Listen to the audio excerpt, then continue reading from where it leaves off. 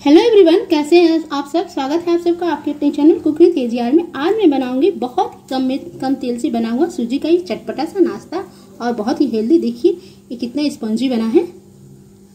तो फ्रेंड्स चलिए इसकी रेसिपी शुरू करते हैं। तो फ्रेंड्स इसके लिए हम कढ़ाई बैठा दिए हैं और उसमें मैं तेल डाल दूँगी। यहाँ मैं अजवाइन डाल दूँगी, आधा चम्मच।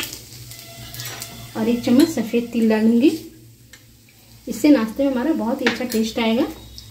दोनों को एक बार अच्छे से हिला देंगे। कुछ सेकेंड के लिए। यहाँ मैं हरा धनिया डाल दूँगी अब मैं इसमें पानी डाल दूँगी। यहाँ मैंने डेढ़ कटोरा पानी लिया है। मैं यहाँ पे सूजी का नाश्ता बना रही हूँ तो जिस कटोरे से मैं सूजी लूँगी, एक कटोरा सूजी लेना है, उसी कटोरे से डेढ़ कटोरा पानी मैं लूँगी। यहाँ पे मैं हरी मिर्च जो लाल हो जाती है, उसको मैं कट करके इस तरह से रखी, उसको डाल दूँगी।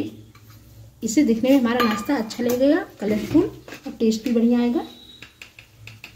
इसमें मैं नमक डाल दे रही हूँ स्वाद के अनुसार और पानी में उबाल आने दूँगी।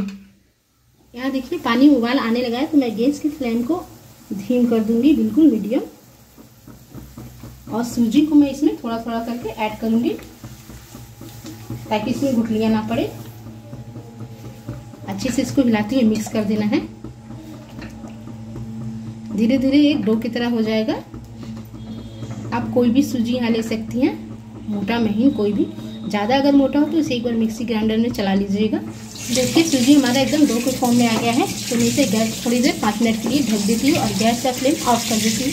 तो फ्रेंड्स देखिए, सूजी हमारा यहाँ थोड़ा ठंडा हो गया है। मतलब पूरा ठंडा नहीं हुआ है। इसको हम हाथों से मसल के डो की तरह एकदम कर लेंगे।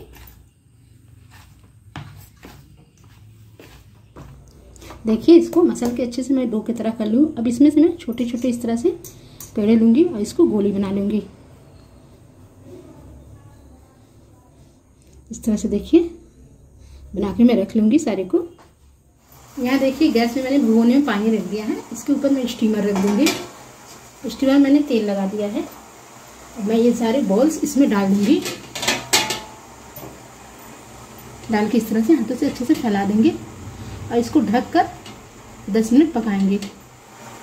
तो फ्रेंड्स यहाँ पे देखिए दस मिनट हो गए हैं और ये अपने साइज़ से देखिए बड़ा हो गया है। अब मैं इसे उतार दूँगी और ठंडा होने दूँगी। तो यहाँ पे देखिए मैंने पैन में फिर से जरा सा तेल डाल दिया है, दो चम्मच। अब मैं यहाँ सफ़ेद तिल डालूँगी।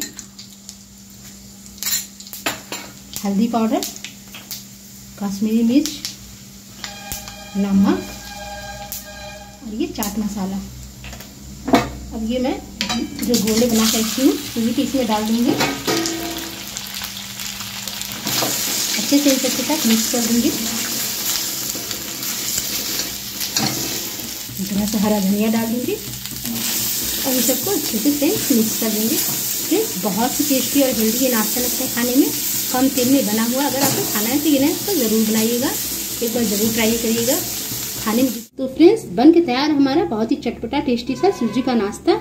रेसिपी पसंद आए तो लाइक कर लीजिएगा चैनल पर नहीं हो तो सब्सक्राइब कर लीजिएगा। Thank you